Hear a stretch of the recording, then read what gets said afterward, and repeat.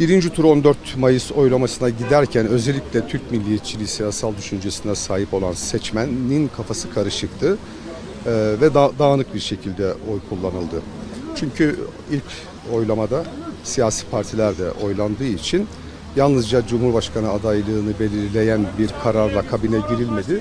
Beraberinde zaten yıllar öncesinden taşımış olduğu siyasi kimlikle kabine girildiğinden dolayı aslında Cumhurbaşkanlığında e, bir değişim olsun mu yoksa mevcut statüke devam etsin mi? Tercih turda belirleyicilerin özellikle e, Türk milliyetçisi seçmenin olacağını şimdiden söyleyebiliriz. Zira e, diğer siyasal düşünceye sahip olan seçmenlerin e, tavrı, tutumu ve reyleri belliydi. Şimdi arada malumunuz yalnızca yüzde dörtlük bir fark vardı. Tek başına Ata İttifakı'nın kurucu e, büyük ortağı Zafer Partisi olan Ata İttifakı'nın Cumhurbaşkanlığı oylamasında almış olduğu oy yüzde beş. Bu yüzde beş bile tek başına aradaki farkı kapamaya yetecektir. Çünkü bugün e, ittifakın kurucusu ve Zafer Partisi Genel Başkanı Sayın Ümit Özdağ e, Cumhurbaşkanlığındaki e, tercihini Sayın Kılıçdaroğlu'ndan yana kullanmıştır. Bunun getireceği moral motivasyonla beraber sandıkta malumunuz e, bir buçuk milyonluk bir geçersiz oy vardır. Bunların az bir kısmı kanaatimce yanlış kullanılmış oydur.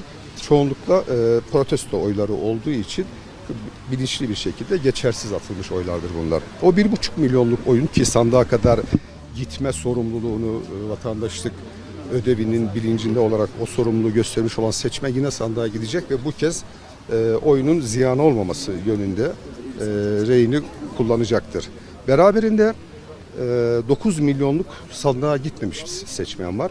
Bu 9 milyon artık bu seçimin kazanıldığını, kazanılabileceğini gördüğü için e, konforlu e, alanını bırakıp e, o gün e, kendi konforundan e, fedakarlık edip sandığa gideceği düşün- düşüncesindeyim. Bana göre e, şimdiden psikolojik üstünlük e, değişimi isteyen, toplumun değişimi isteyen kesiminden yana geçmiştir. Psikolojik üstünlük Sayın Kemal Kılıçdaroğlu'nu Türkiye'nin 13. Cumhurbaşkanı olarak görmek isteyen yurttaşların lehine gelişmiştir. Buna son iki haftadır e, düzenli cevap veriyoruz.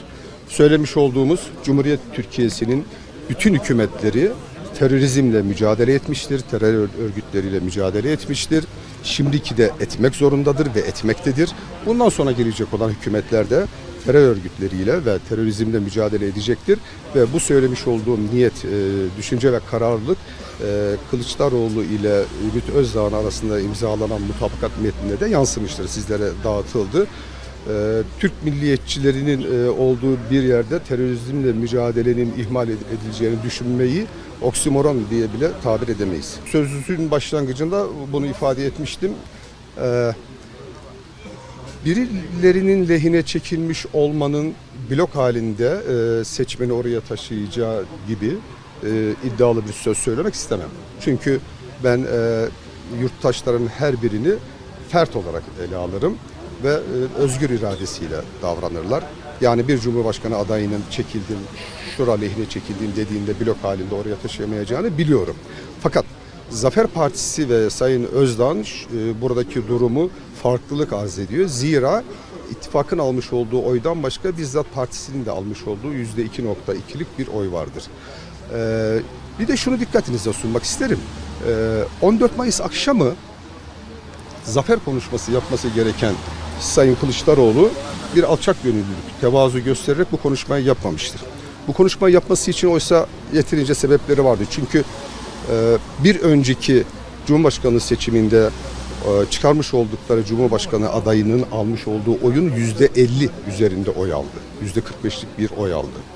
E, Diğer yanıyla kendi partisinin e, çok çok üzerinde oy aldı. Yüzde 25 almışken Cumhuriyet Halk Partisi e, o yine bunun üzerinde yüzde 15'lik e, bir yüzde 20'lik bir fazla oy aldı. Bu konuşmayı yapmamasının sebebi sanırım Millet İttifakı e, yüzde 4-5 farklı bir oyla birinci turun alın- alınacağı düşüncesindeydi. Veriler böyleydi. Ve Cumhurbaşkanlığı seçimini kazanamamış olan, Cumhurbaşkanlığı makamında oturduğu halde mevcudu muhafaza edememiş olan Erdoğan, elindekini koruyamamış olan Erdoğan, elindekini kaybettiği halde Cumhurbaşkanlığı koltuğunda otururken Cumhurbaşkanı seçilemediği halde yine de kendince bir e, zafer konuşması yapmıştır.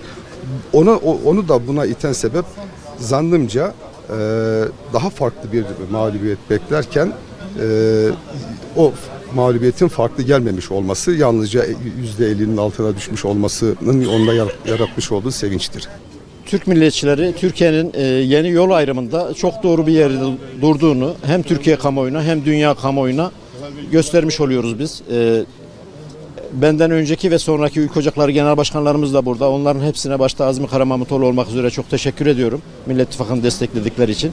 E, Vecdet Öz hocama ve aynı zamanda da e, Zafer Partisi Genel Başkanı Ümit Özdağ hocama da şükranlarımı sunuyorum.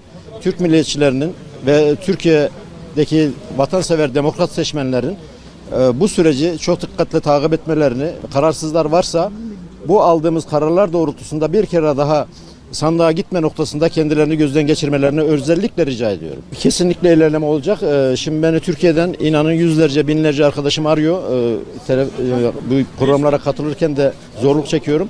Ee, e, Hem genel başkandan ciddi açıklamalar olacak Türk milliyetçilerinin iktidarda e, yer alma noktasında hem de Türkiye'nin muasır medeniyet seviyesindeki rotasını yeniden bulması için gerekli hamlelerin, e, e, taahhütlerin hem geri planda verildiğinde hem de bunun işaretlerini Sayın Genel Başkan'da da duyacağız.